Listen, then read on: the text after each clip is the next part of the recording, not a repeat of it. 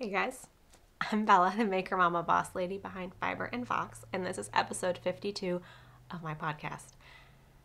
Now, if you are joining me for the first time, or if you haven't been here for a while, this is not how it usually goes. I just want to put that disclaimer up front. I'm in a different location, the lighting's different, the audio's different, and we're doing unedited, uncut this week. Um, I will explain all of that shortly, but um, yeah, for the for the polished ish sort of polished content with editing and captions and photos and all of that, go back a few episodes. Stuff's a little bit in mayhem here right now, but um, I have a lot of content that I wanted to share, so I'm going to do my very best to give you an unedited. we're going to pretend we're live, but we're not really live version of the podcast. Like I said, I'm Bella. I'm a crochet designer. I also knit and I chat with you here about all of it. And anything you need to know about me is linked below the video, including show notes, um, probably on my blog. If not, in the down bar, there will be links to anything um, of interest that I mention here. So, admin wise, why are we doing this? Um, currently, we are redoing two rooms in our home, um, one of which is going to be my husband's office slash music room. He works from home um, and has a lot of instruments. These two things are not related, but he needs a lot of space for both of them. And um, the other room is going to be a small yarn craft office slash homeschool room um, for my daughter and I. So we are redoing both of them at once. The the painting and the windows and the closets and all that stuff have been redone. It's looking really nice in there, and we're having the floors redone this week. Um, so we had to clear everything out of there redoing, uh, refinishing the hardwood floors, which I'm very excited about. But um, my husband, who works from home, he just came inside, if you heard that, um, works from home, and usually his desk is set up in there. And I use his desk and giant mega desk wraparound monitor situation. Um, I don't have the words to describe what it is that he has, but uh, it's very techy. And I use that for editing usually. Um, and I don't think the software will run off my laptop, and if it will, it'll be very glitchy. Uh, so we're going to go for the unedited version. Um, hopefully only this week. It's going to be most of this week and then part of like next waiting for the floors to be thoroughly dried, cured, whatever it is you call the new floor. Um, so it's going to be a while before we're set up in the new office, but hopefully we'll get the, the computer stuff back up and running quickly. Um, so yeah, we're just going to do the best we can this week and it's allergy season, so hopefully I don't have a major sneezing fit and this is somewhat cohesive. Um, but again, this is not how things usually go. So bear with me, but I do have a lot I wanted to share. So we're gonna just do the best we can. Um, what I'm wearing, nothing exciting. It's a shirt that says Yarn Life, um, and it's not from a small maker or anything. So we don't need to mention that. And finished objects, I have some. That is the one I really want to talk about, but we're gonna just get these socks out of the way. I have no socks on the needles right now, which is highly unusual. I don't know the last time that that was, but I finished the pair and the sock blockers are all in the basement um, with the supplies. So I can't really show you as well as I would like to, but go back to the last episode um, or two for more details on this yarn. This is yarn that my daughter and I dyed together with um, food dye. This was one we had done a couple years ago, and then this we did over Easter, um, or not over Easter, but after Easter we had leftover egg dye. Um, so yeah, we did a little self-striping experiment. I think I put the reel in the last podcast of how we did it. Um, but yeah, oh, I'm realizing now I wanted to put a reel in this, and that's not going to happen without the magic of editing. We'll get to that in a minute. This pair of socks is finished. There's two of them. They look cuter on blockers. They're really fun, really bright. Plain vanilla sock, twisted ribbing. Nothing super noteworthy, but um, I finished them. I think that's my fifth pair of socks for the year and yeah, I didn't cast any more on because I wanted to do summer projects and it's kind of kind of turned on me. so yeah. The sunflower elephant in the room. There's actually two of them because I made it once and it didn't fit, so I made it again. And I'm still not sold. But this, this is a no pattern attempt at making, and this is where I was gonna put in a reel of me wearing it because it's so much more you can just truly understand the the wonder that this is. Um, but you're gonna have to go over to Instagram. I will link the reel down below for you um, of me wearing this over a dress. it's it's a lot. it's a real lot. Um, but yes, this is a no pattern crop top fringe tastic. Sort of looks like a tablecloth um, out of somebody's 70s cottagecore beach house. I don't know. Um, and it's out. It's also currently inside out on the hanger. So, did I wear it inside out in the video today? Quite possibly. Quite possibly was inside out when I made the reel. But yeah, I think it was. I think I definitely made a reel wearing this inside out. Um, so yeah, more reason to go over check that out on Instagram because I clearly know what I'm doing. But I looked at a bunch of patterns um, for something of this festival crop top, boho, whatever you want to call this. Um, but it's a, a 12 granny square construction top. Kind of a one size fits all unless you change the gauge situation, um, which I made a smaller one first and it doesn't fit me um, or all.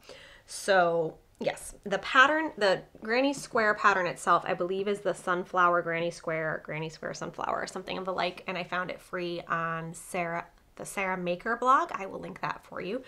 Um, but I, I, did modify the edging and the, the whole pat, like the, the top itself. I, I was winging it. But if you like the sunflower square, very cute. It's got some puff stitches and whatnot. Um, you can find that on her blog. So I made 12 of those and I constructed it into what was going to be a bathing suit cover up. And now I think I'm definitely not going to wear it as a crop because a pregnant belly, that that's a lot. Um, but it kind of looks okay over a black dress, but also it kind of looks crazy. So we're going to talk about it. I have a lot of thoughts. I'm trying, I was going to have notes and do cuts, and now I have to just go straight through. What size crochet hook did I use? An I or a J for this. A pretty large one, pretty loose gauge. The yarn itself is some cotton. I'm sorry, there's going to be more reaching and looking and confusion in this than I would generally like, but we're making it work. It's all Hobby Lobby brand. The white is this Pima Supreme, Pima Suprema. The colorway is lace, but the yarn itself is a worsted weight. And then the yellow is mustard fresh haven it's also a cotton but it's not pima i think it's just actually it's lyocell just kidding it's 100% lyocell which i think we've determined is a bamboo derived fiber um, or a plant-based but often bamboo derived fiber the colorway mustard and then the rusty red. I don't know if I have a tag. Let's see. Red clay. So I really like these. The lyocell ones have a bit of a sheen to them and then the Pima cotton is really soft. Doesn't really have a sheen, um, but it's just slightly softer than a cotton cotton, like a dishcloth cotton.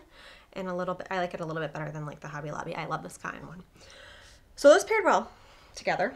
I had gotten a bunch of skeins because I was thinking of either like maybe doing a baby blanket in some of it as well or a matching thing for my daughter and then I kind of ended up with the second one here. which was actually the first one. This fit me like a real tight tube top and that was not a great look either. But this one I made with a H or G crochet hook. So it was just it was just too small. I didn't do any gauge swatch and I really had no idea what measurements I wanted. But comparatively, like this one is just a lot. This is not a good way to show you. I only have so many hands. How can I show you this? This is just proving to be a smashing success. It's just a lot smaller. Mm, that's doing nothing. It's smaller, I promise. So this, I am either going to take the squares out and work it into a baby blanket type project for someone else, um, maybe with some other colors in there. Or it fits on my daughter like super loosely as like a full shirt. Um, so I think I may crochet some wedges or something in here to get rid of the, the v-neck of it and then just make some short straps and give her a similar top, um, but not cropped. But overall, I like how the granny square bit came out. I'm just really confused about this fringe.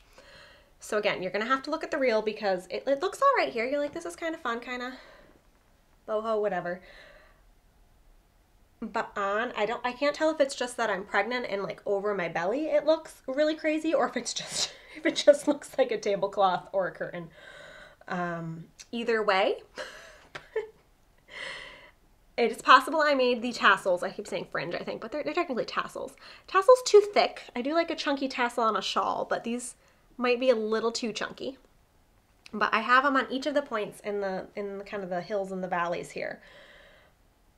And they definitely look weird over my belly, especially this middle one. Like, cause it just whoop, whoops out. And I originally wasn't gonna put them on there, and I had the top with just you know, just the granny squares. And I thought the triangles or the, yeah, the wedges, the openings looked a little weird. I'm gonna put this back up here because holding it up is a lot.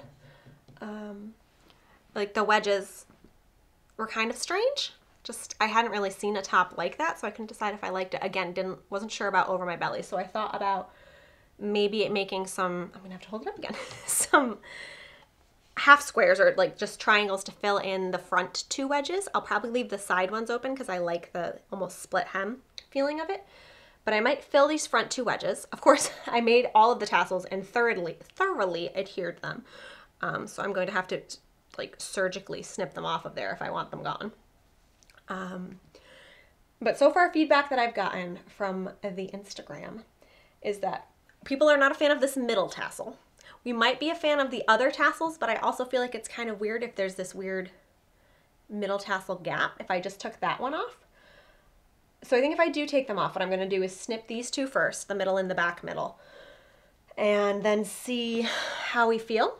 There's also the option of shortening the tassels because they do hang pretty short cropped over my belly in the front, but they are down onto my butt in the back, which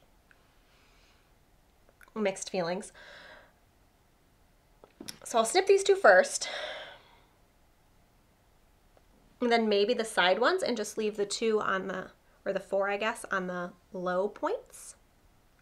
I need, I need lots of feedback in the comments on this. So either go leave your feedback here or on the, on the reel because I'm going to at least leave it through the weekend before I mess with it anymore.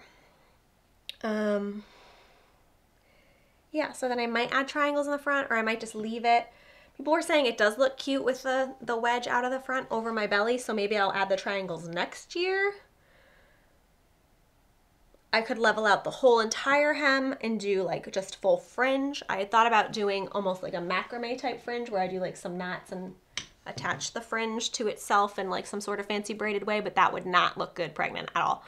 So that might be a future endeavor. I don't know, this was a very on the whim project and I do like how the fit of it came out. I think maybe it could be a little bit more oversized. Um, but I like the straps. I made a lot of the ones that I found patterns for were very thin, like either an I-cord like or like even just like a single chain of stitches. But I made a much thicker strap because I like a thick strap to cover a thick strap. Um, I think that's good. I think the fit of the v-neck is good.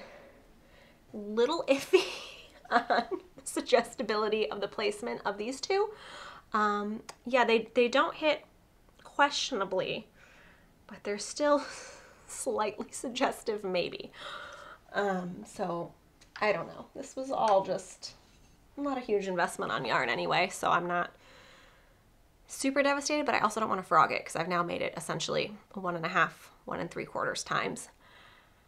And I do think it's really cute and I like the colors and even if I only wear it over a bathing suit, like I still feel like it has some cute potential. So thoughts. Give me all of your thoughts on my sunflower granny square top crop top fringe tassel situation. Add more fringe, add less fringe, add more tassels, less tassels, trim the tassels, add wedges, leave open wedges, flatten the entire hemline, add tassels off of that hem, flat hemline. A lot of options. Throw it in the frog pile, make it into a baby blanket. Oh, there's a cat in here now. We're just gonna keep making this more interesting. Are you gonna be a nuisance? Possibly. All right, I'm going to take a sip of tea and try and not be super awkward as I lean over here and get it, but it's probably going to be awkward. It's going to be fine. Okay. I cannot wait to have that office space finished. Please do not knock over anything, Jack. Like, please. It's just chaos in here. So that's my finished object. As you can tell, it's not really finished because I have lots of feelings on it, but I do want it to be something, and I'm still very torn on what to make. Like, this is why I didn't know what to make for summer. Summer projects are already hard. Summer pregnant projects are really hard. And I just want to make things that are going to fit me now and next year. And I I just don't know if this one's a winner.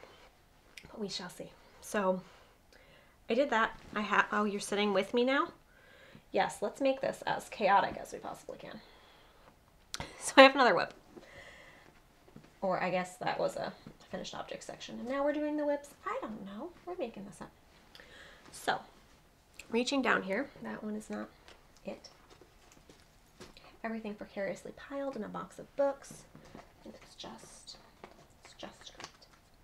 Okay, th this would work a lot better if you weren't on my lap. Do you want to say hi to the people? You don't? Can you tell? Okay, don't scratch me. You sit down. Not on the project. Yeah, can you can you find the coziness, please? All right, so I started a blanket. If we haven't ascertained already, I am pregnant. I am due with a boy in September.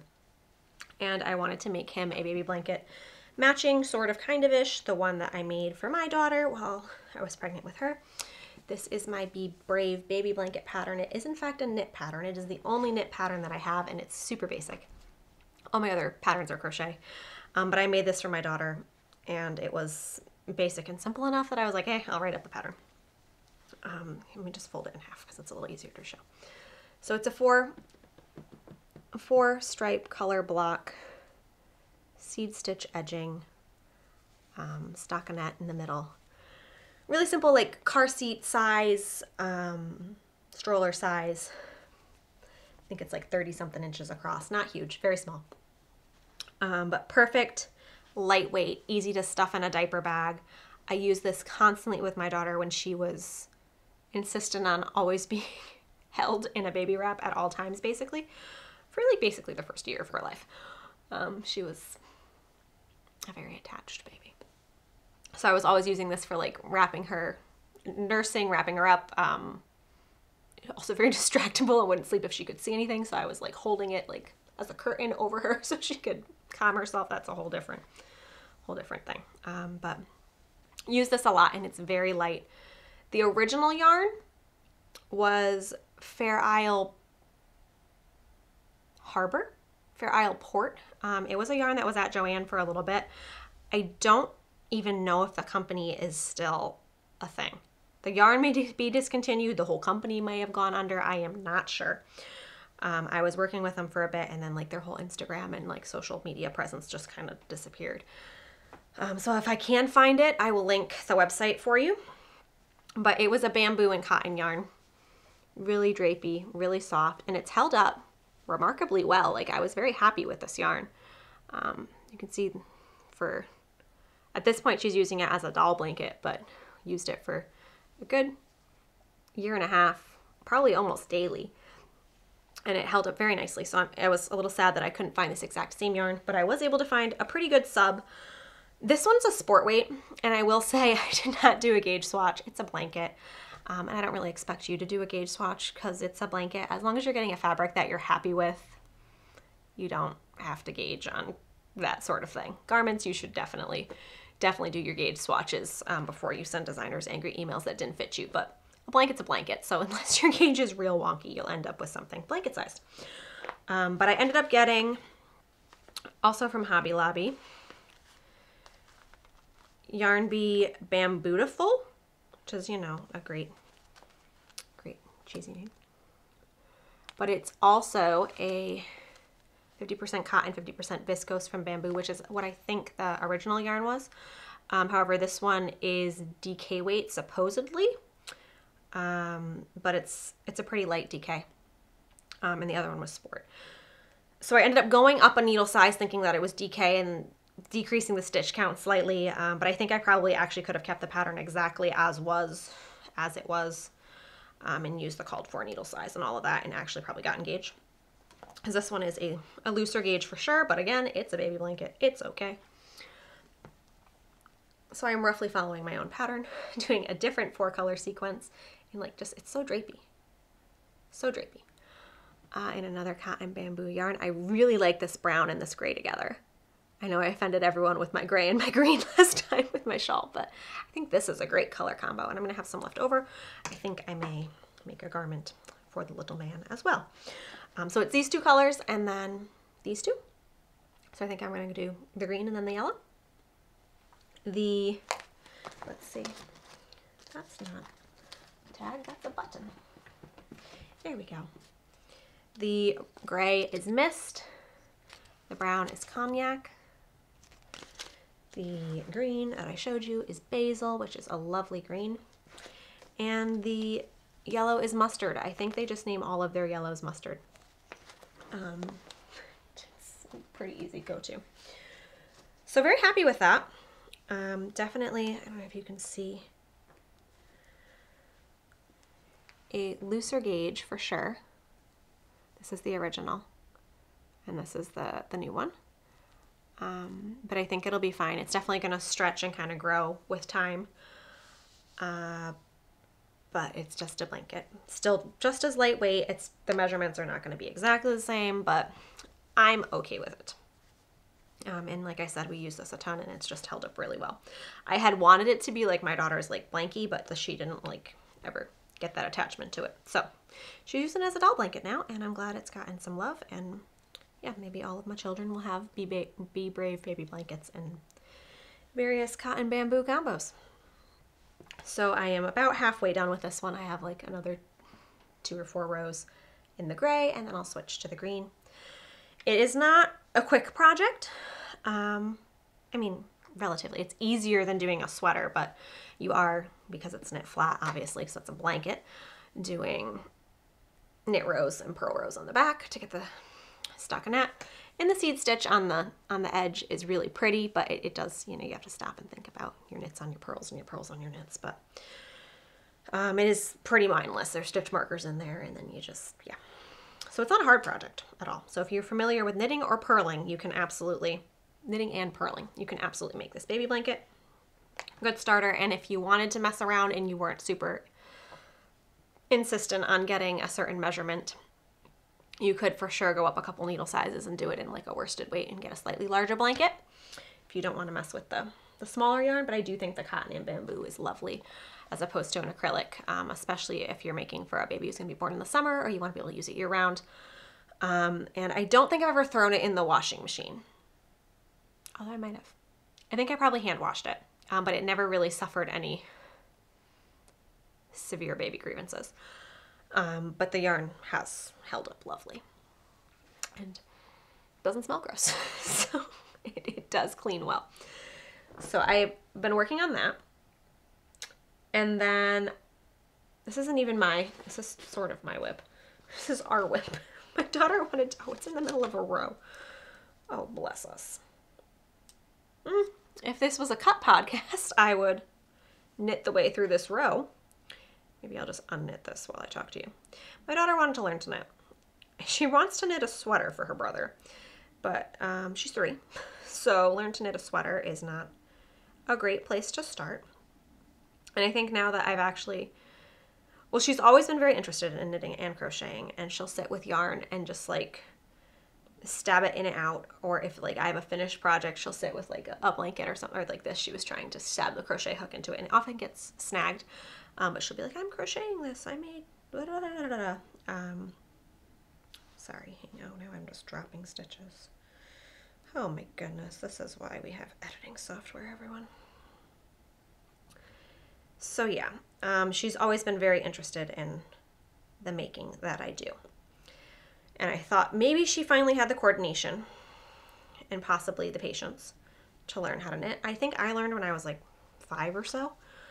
Um, but I know that there's plenty of countries where people knit lifelong. Um, And I feel like the knitting is a little easier to coordinate than the crocheting um, from a toddler perspective, maybe, but maybe I should try both. She wanted to knit, so I said, but we can knit a baby blanket. And I may have gone a little overachiever on the gauge and the yarn. When I was getting all this other Hobby Lobby yarn, I grabbed Yarn Bee Breathe Deep in the colorway Spa. And it is a 100% polyester yarn. It's very similar to Lion Brand's Feels Like Butter, Butter, which just pains me to say. It's ridiculous. So it's, yeah, polyester, like fuzzy chenille type yarn, but it's one of the thinner ones. And I had looked at all the big chunky, like the velvet yarns are too slippery. I didn't want anything that was plied because I didn't want her to be frustrated with splitting.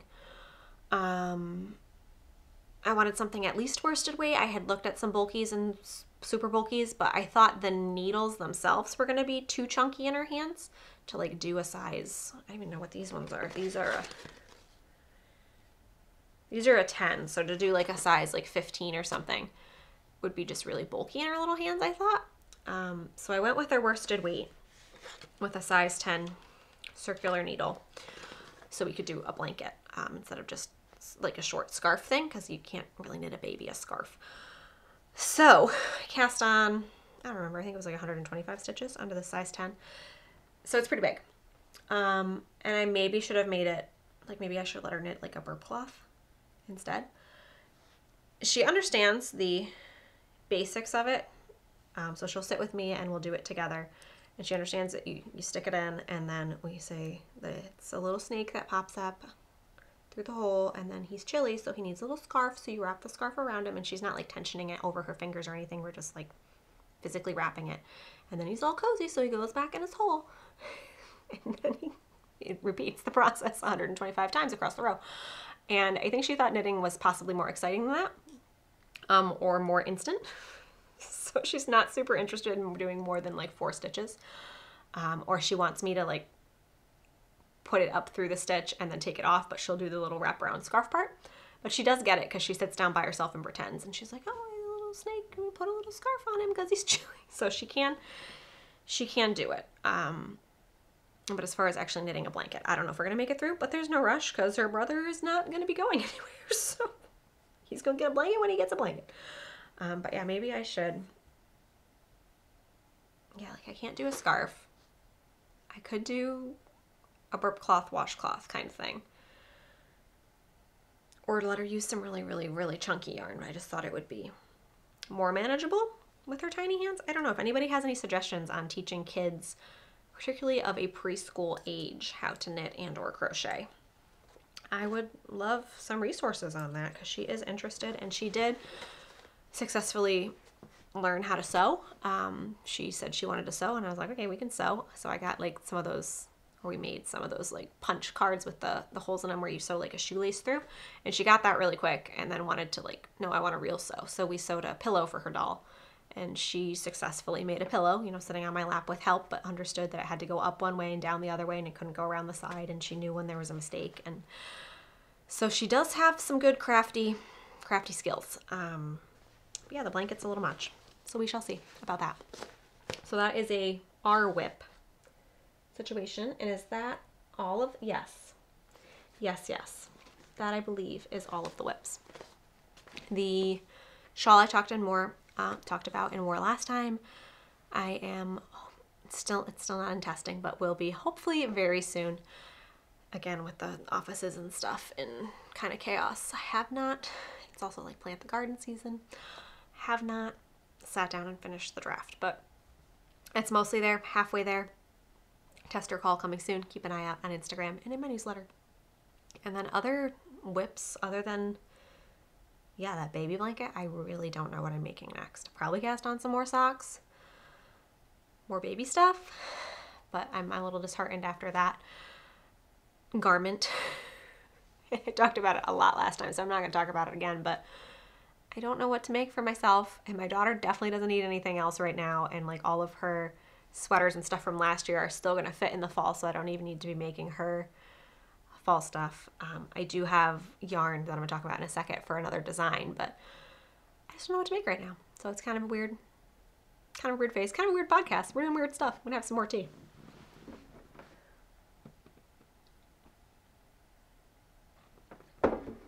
Not entirely sure if I was fully out of frame for that or not, but we do what we. So acquirings. The same yarn that I was using for the baby blanket, my baby blanket, I grabbed a bunch of skeins in the cognac color because I really like it. Um, it kind of just fits my whole vibe. And yeah, this is the viscose bamboo and cotton one. It's DK weight. Very light, very drapey. Um, I want to make a Ruana, um, I think is the technical term. One of the, I don't know, I've seen it like, I've seen them seamed and I've seen them open as well, but my definition is like the two front panels and then a big, almost like a poncho, but it's not over your head. It's like a cardigan version of a poncho, if that makes sense. Like a big square, I can't put in pictures. big, big old square, like wearing a blanket on your back, and then two rectangular panels in the front. So you're basically wearing a blanket. It usually has tassels or fringe. And I have a bunch of not handmade ones that I I regularly enjoy wearing, but I did really enjoy um, postpartum for like nursing, just using as like a a quick cover if I needed one kind of thing. Um, and it also doubles great as a blanket or lay down and play in the grass kind of thing. Um, so I wanted to make a lightweight one because the ones that I have are either wool or some sort of synthetic wool look-alike type thing, but very blankety. Um, so I would like to have a lighter weight one both to wear in summer with like dresses and like chilly air conditioned scenarios. Um, and just, yeah, as a quick cover. So I want to make one of those and I have a design in mind um, for that. And it should be pretty easy as far as garment designs go because it's not going to be graded in like all eight sizes. That'll probably be like a extra small, small, medium, large. Um, couple sizes fits most kind of thing. Um, because it, it's not fitted at all. It's like a big blanket. Um, so I have seen them sometimes seamed up the sides, but I think I'm gonna leave it open. I don't know, we'll see. I need to actually swatch and make it happen, but I do have a vision in my mind of what I would like that to be, very open and airy. So I'll probably have that done hopefully for end of summer, beginning of fall, pre-baby, if we're lucky. so yeah, I'm a little stuck on designs, a little stuck on making for myself, and uh, apparently a little stuck in a room without proper podcast materials and the light's getting really weird now and we do what we can. Uh, and last thing in this fabulous wild episode that we're doing, I grabbed, we had gone, am I in the frame? I don't even know. Are you looking at like my eyeball? Probably. Gone up to Vermont briefly. And on the way back from where we were, we stopped at Green Mountain Spinnery I do have an entire vlog tour of this mill um, from last year from the I-91 shop hop, which also if you're interested in shop hopping, I think is happening in first or second week of August um, from the Connecticut to Vermont area. So they are a spinnery that spins yarns from mill, their mill. They spin yarns from all over the U.S. Um, organically. Um, and produce yarn for farmers who otherwise wouldn't have the equipment to produce yarn on a large scale other than just like, you know, a spinning wheel. So they process other farms' yarn, but they also have a small store where they then sell some of their own yarns.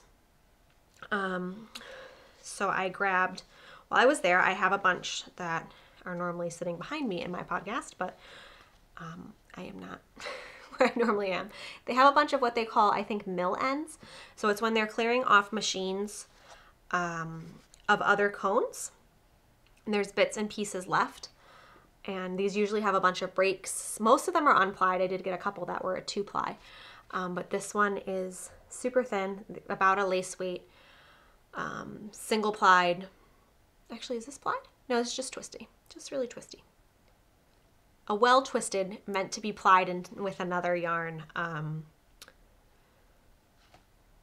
mill end and they sell them for super duper cheap they're mystery fibers so you don't know what exactly i mean it's definitely wool um, but there could be other things in there but all of it is non-synthetic and organic Um, but they sell them for, I think, 35 cents an ounce. I don't exactly, I'd have to math it out, how many ounces. I don't think I have, I don't know if it says on the receipt. No, it doesn't say how many ounces, but for those three cones, I did in fact pay $2.73. it's 35 cents an ounce. So whatever that comes out to, how many ounces. So I got these two that are similar, but definitely not the exact same content. This one's a little woollier. These are a two ply. Actually, you have four ply? How many plies are you? Hang on. Three ply? Oh, a three ply. That's interesting. Plies, if we're not familiar, are how many strands of yarn are twisted together to create the final yarn.